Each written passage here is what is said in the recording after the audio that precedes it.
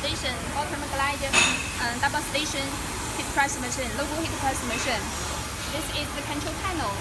It's the temperature and the time. Two-in-one controller. First, we press this SD button once. File P means temperature setting mode.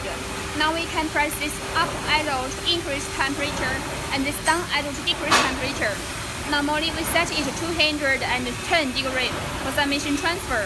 Then press this SD button second time. That reverse F means time setting mode. Now we can press this up arrow to increase time and this down arrow to decrease time.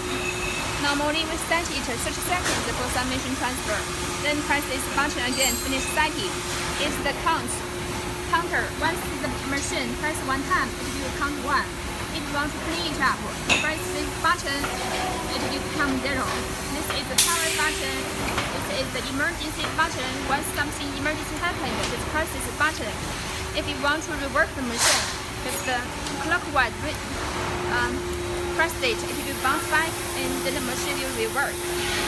Okay, it's the manual automatic switch. If you turn to the left hand, the machine become manual mode. Now we have press this burn button to press the machine, press down the machine. Uh, if you stop the machine, press this button, the machine will stop working. The middle, the machine will not work. Uh, if the machine become right hand, the machine become automatic. You can see. Once it reaches the right position, the machine will press down automatically. Want to stop the machine, you press this button. Okay, now we test the machine for you. First, we display this under this.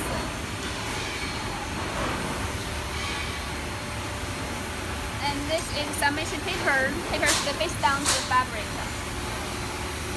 And then we, move it to the right hand, the machine becomes the automatic mode. Then we push it here and make sure this is not on. Then the machine will press down automatically. The timer will count down from 30 seconds to zero.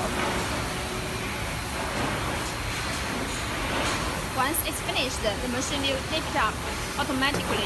Then the printing is finished.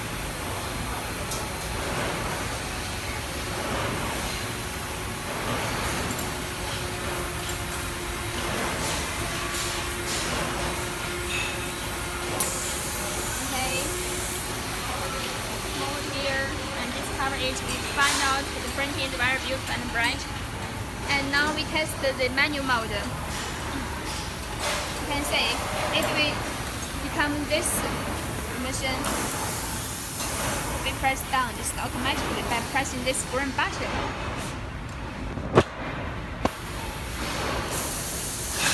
Okay. If you turn to automatic,